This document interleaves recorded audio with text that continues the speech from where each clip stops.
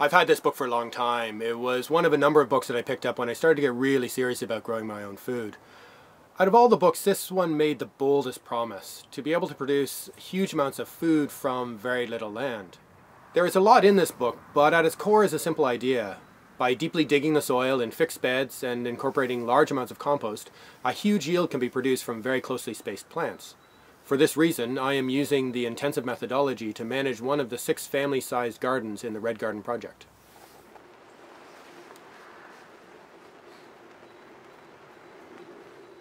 The intensive approach has been adopted by many growers over the years, but a lot of the techniques have been refined and changed. Many have shifted to the use of a broad fork for an easier and less invasive deep cultivation of the soil. Others are growing intensively using minimum tillage or have shifted to a no-dig approach.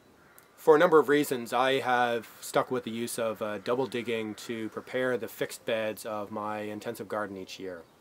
I wanted to see what would happen if I use this method for a number of seasons, and it's an appropriate technique for the scale of a 100 square meter garden.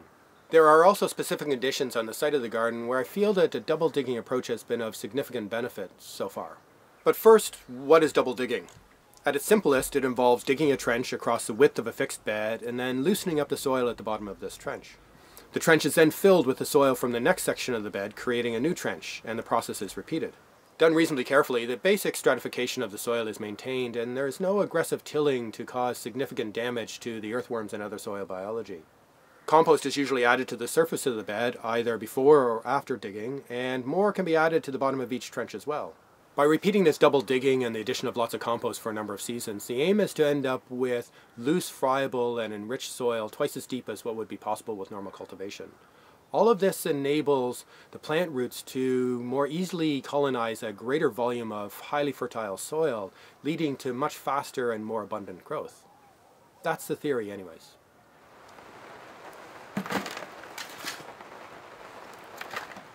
In reality, the work to establish the 16 beds of my intensive garden was spread out over a number of years. This was due primarily to the presence of a lot of rocks in the soil and not having enough time in the first few years to adequately deal with them. Although the top 20 to 25 centimeters of soil was reasonably clear of stones, below that was a layer of fairly densely packed rocks, which often required a pry bar to work them loose. But interestingly, it is only a relatively thin layer, and the subsoil below often contained fewer rocks. This rock layer seemed to extend across the entire site and is a key context issue for the six different gardens. This rock layer obviously posed a challenge to the double digging method, but there was also an incentive to remove them if I was willing to put in the work. And it was a lot of work, with several wheelbarrow loads of rocks of various sizes being pulled out of each of the beds. But now that the task is done, there's only a few smaller stones to be found, and the job of double digging is relatively easy. The top layer of soil is easy to move with a spade and the bottom layer of soil is easy to loosen up with a fork and the roots of the plants now have ready access to the subsoil below. It's hard to determine how beneficial this uh, structural transformation within the root zone will be to the growth of plants.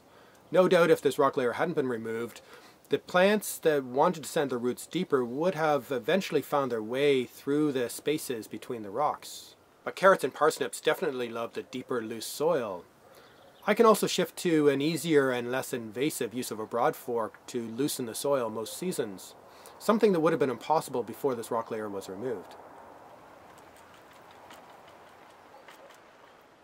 For the first few years of cultivating this garden, I didn't have access to much compost, but for the last few seasons I've been able to add two wheelbarrow loads of compost to most of the beds.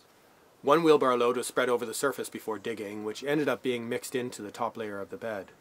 An additional wheelbarrow load was used to amend the lower layer, adding a bit of compost to the bottom of each trench before forking it in. Spread evenly over the 4.25 square meters of a bed, this amount of compost would have produced a layer almost 5 centimeters thick. This is all worked into the top 50 centimeters of the soil, which translates roughly into 10% compost by volume.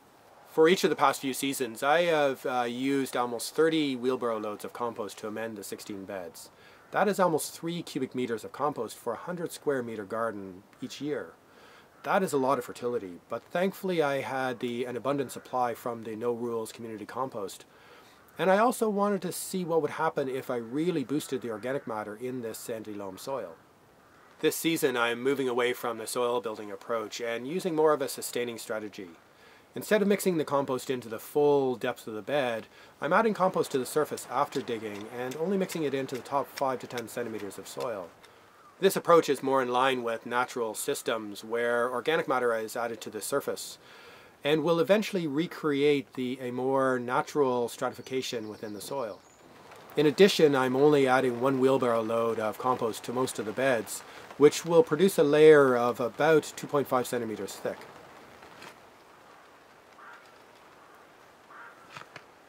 But what is the result of all this work and fertility? Is the extra effort worth it? Looking at one example, last year's parsnip crop in this garden produced a yield of about 20 kilograms from one square meter of bed, with each root averaging about half a kilogram. In comparison, the adjacent extensive garden produced only about a quarter of the yield, with roots only half the size on average, even though they were given twice the space to grow in. In addition, the roots from the intensive garden were substantially longer and less forked, thanks to all the rocks being removed. Of course, the result of one exceptional crop in one season is not enough to prove anything, but I have had similar results from the previous year.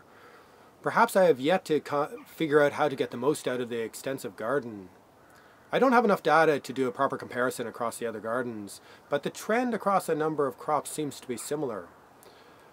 This intensive approach seems to be living up to its bold promises.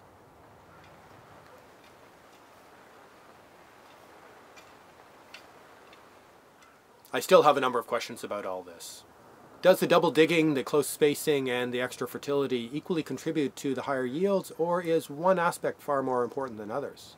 How much more can the yields increase?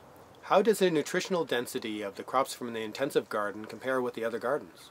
Now that the beds are established, would it be better to shift to a no-dig method to enable the development of a more natural, less disturbed soil biology? I don't have answers to any of these questions yet. For the last few seasons I've had enough compost, enough time, and I don't mind the hard work, which ends up being about 10 hours of double digging for all 16 beds. I believe that the additional work that I put into removing all of the rocks will be of significant benefit for many years to come, and the increased fertility is definitely an asset. Although I will need to do a soil test to determine how the balance of nutrients can be improved. But according to the law of diminishing returns, additional fertility and looser soils will at some point no longer translate into improved yields. The cool growing conditions, the windy site, and the Lack of sun that is typical of this climate will place limits on possible growth, or some other factor will. But I don't know if I've reached that point yet, or if significantly better yields are possible, and I won't know if I don't continue with this experiment.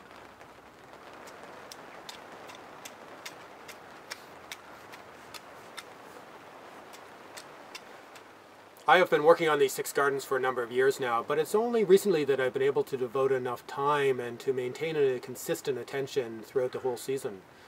As a result, I'm only starting to gather meaningful data that can be used to compare the different gardens. But I'm really looking forward to seeing what happens in the coming seasons. If you're also interested, please subscribe. And if you want to help to support me in creating more videos like this, please check out my new Patreon page. And as always, Thanks for watching.